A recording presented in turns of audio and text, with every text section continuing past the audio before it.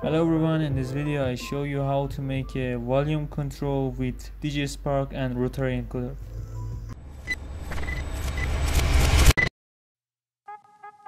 DigiSpark is a microcontroller board which has ATtiny85 as it heard and running with 16.5 MHz frequency with 8 KB of memory and have 5 GPIO pins.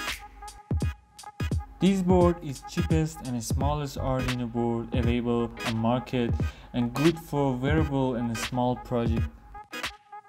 As you can see at first we need connect GND and 5 volt and after that I just connect S1 of rotary to P2 of DigiSpark.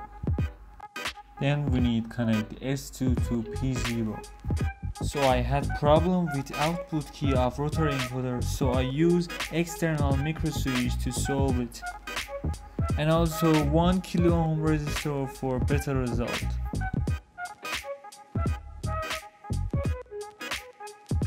This is the final circuit, I put the link in the description you can download it. As you know until this moment we need rotary encoder, DigiSpark,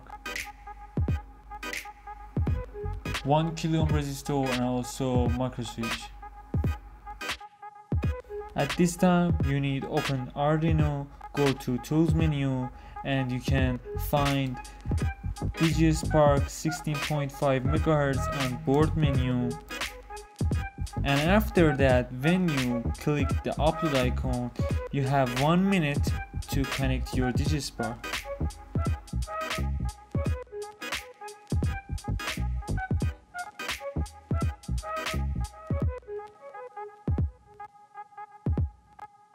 Thanks everyone for watching this video. You can support this channel with subscribe and like and you have any problem just comment for me down below.